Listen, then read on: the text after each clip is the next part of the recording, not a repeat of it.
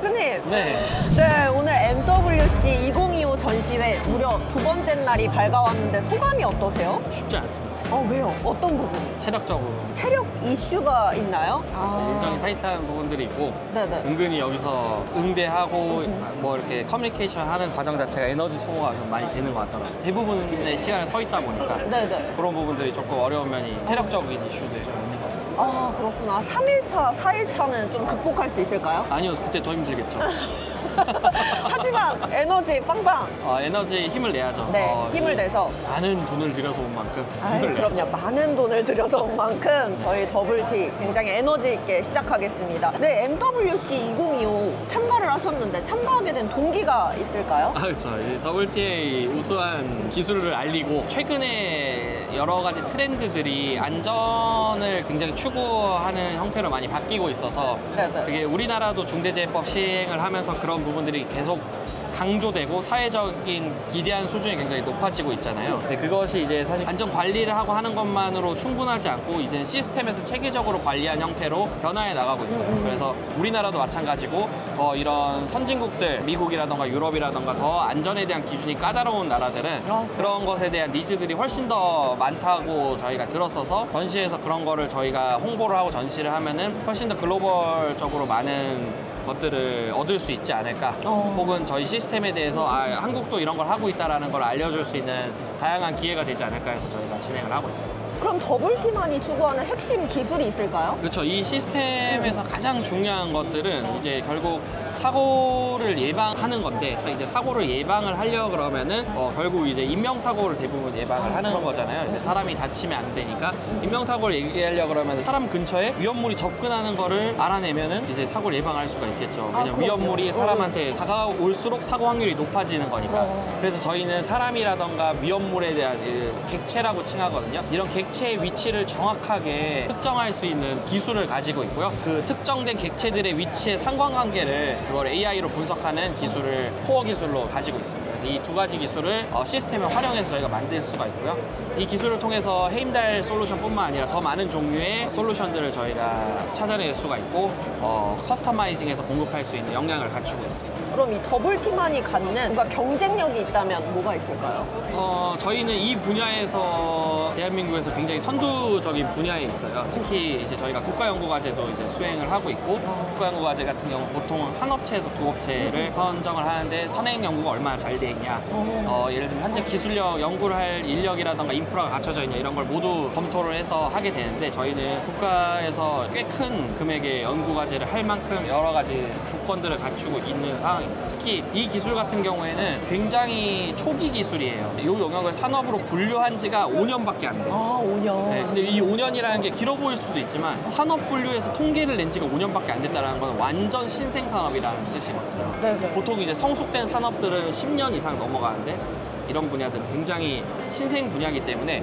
아직까지 누구 하나 업체가 뚜렷이 두각을 나타내고 있지 않은 상황이고 따라서 저희가 이런 거에 대해서 이런 국가 연구 과제를 수행하고 어, 또 이런 연구한 결과물들을 현장에 납품을 하면서 선두주자로 이제 자리에 매김을 할 수 있는 계기가 되었습니다. 아. 하는 그런 것들이 있고 저희가 그런 부분들에 대해서 이제 fast follower가 아니라 이제 우리가 pioneer 어, 위치에 있다는 게 저희가 가진 큰 장점이라고 볼 수가 있겠습니다. 이런 큰 장점, 경쟁력을 기반으로 주요 타겟 고객층은 누구를 잡고 있나요? 이제 핵심 고객층 같은 경우에는 건설사, 위험물들이 많이 있는 공사 현장, 어, 그리고 또 여러 가지 어, 사람들이 많이 밀집해 있는 축제 현장, 오. 어, 이런 것에서 밀집도 관리를 하면서 어, 안전을 좀 더 추구할 수 있는 이태원 참사 같은 경우에도 아, 그럼요, 맞아요. 이제 축제 인파 관리가 조금 더 정확하게 됐더라면은 안타까운 사고를 많이 막을 수 있었을 텐데 그런 것들이 조금 아쉬웠었으니까 그런 것들을 이제 시스템으로서 실시간 관제하고 관리할 수 있으면 훨씬 더 경쟁력이 있지 않을까라는 생각을 하고 있습니다. 그럼 우리 대표님께서 이 MWC 2025 전시회에 좀 뭔가 바라고자 하는 그런 것들이 있을까요? 어, 전시회가 너무 규정을 까다롭게 적용,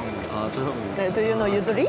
네. 유들, 유들 수가 네, 없어가지고 유들스가. TV 발받침대가 한, 한 7cm 정도 튀어나오는데 시정하라고 사실 사람이 많이 다니지도 않는데 그런 부분들은 조금 양해해 줄 수 있는 부분이 아. 있지 않았을까라는 아. 생각도 드는데 뭐 그렇지는 않더라고요 양해를 안 해주는 것 같더라고요 그래서 뭐 그런 것들 것들이 조금 이제 아쉬운 점이 있는 것 같습니다. 그럼 이 MWC 2025 전시회에서 발표된 기술 중에 우리 헤임달 기술이랑 조금 연계성이 있다라고 느끼는 기술들도 있었나요? 전반적으로 다 AI 기술 기반이더라고요. AI라는 기술 자체가 물론 최근에 챗 GPT라던가 이런 생성형 AI 위주로 많이 알려지고 있지만 사실 AI라는 거는 기본적으로 없는 데서 있는 게 생겨나는 게 아니에요. 이제 AI를 기본적으로 생각하는 아주 기본적인 원리는 그동안에 있던 방대한 데이터들 학습을 통해서 이 학습된 데이터를 가지고 뭔가를 이렇게 추출해내는 거지 완전히 없던 거를 새로 생성해내는 수준까지 AI가 아직까지 올라오진 않았죠. 지금 현재도 뭐 챗GPT 같은 경우도 다양한 언어 자료를 이제 large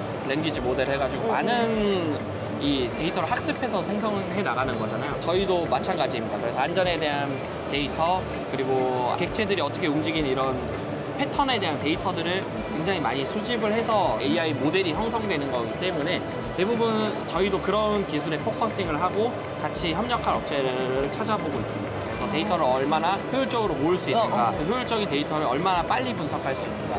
왜냐면 안전에서 warning을 주려고 그러면은 1초도 되게 늦은 시간이거든요. 음. 왜냐하면 사실 1초면은 거의 사람이 이동하는 속도로만 가도 1초 안에 한 3, 4m를 이동해 버리니까 알람을 주는데 1초만 걸리더라도 이미 3, 4m가 과거가 돼 버리는 거죠.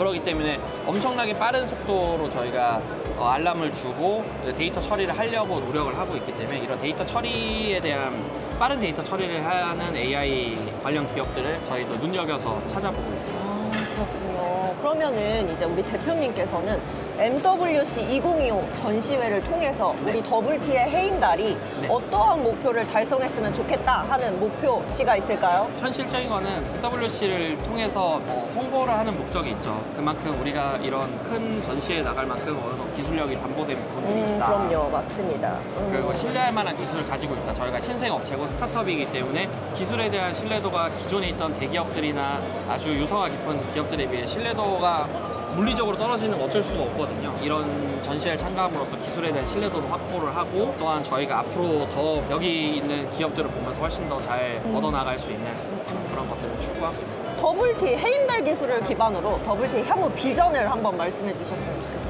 네. 저희는 지금은 산업안전 사고를 예방하는 시스템을 만들고 있지만 궁극적으로는 개인들이 가지고 있는 데이터와 패턴들을 분석을 해서 옛날 영화 마이너리티 리포트라는 영화에서 나왔는데 거기서 보면 예지자들이 사고를 예언을 해서 미리 사고가 나기 전에 어, 예방을 다 하잖아요. 그런 것처럼 저희는 일상생활에서 일어날 수 있는 각종 안전 사고라던가 어, 범죄 이런 것들을 예방하는 시스템을 만들고 싶습니다. 실제 이게 말이 안 되는 소리 같고 먼 미래 얘기 같지만 실제로 지금도 뭐 예를 들어 성범죄자를 위치 tracking 해가지고 리스크가 생길 것 같으면은 뭔가 사전에 출동해서 조치를 한다던가 이런 기술들이 실제 쓰여지고 있어요. 음. 그래서 이런 기술들을 조금 더 확대 적용해서 조금 안전한 사회가 되는데 좀 더 기여를 하고 싶습니다. 최근에 여성분들 사고도 대한민국에서 굉장히 많이 일어나고 아, 그럼요. 도제살인부터 맞습니다. 해서 음, 음. 묻지마 살이 이런 말도 안 되는 음. 사고들로 소중한 목숨들이 사라져가고 있는데 저희가 그런 거를 다 예방할 수는 없겠지만 최대한 그런 걸 예방할 수 있는 일단 시스템으로서 그래서 예측할 수 있는 사고는 많은 부분들을 예방할 수 있는 시스템을 만들어서 사회적으로나 이런 기여하는 게 저희 목표입니다. 마지막으로 이 MWC 2025 전시회에서 전하고 싶은 대표님의 메시지가 있다면 한번. Hey Elon Musk, call me. 아, 오로지 일론 머스크만을. 아, 마크 주커버. 아, 오케이. 빌 게이츠. 아, 오케이. 아, 집중, 공략. 네네. 어, whatever. 지금까지 인터뷰 정말 감사하고요. 네네. 네, 대표님. 다시 찾아뵙겠습니다. 알겠습니다. 네, 오늘도 파이팅입니다. 파이팅.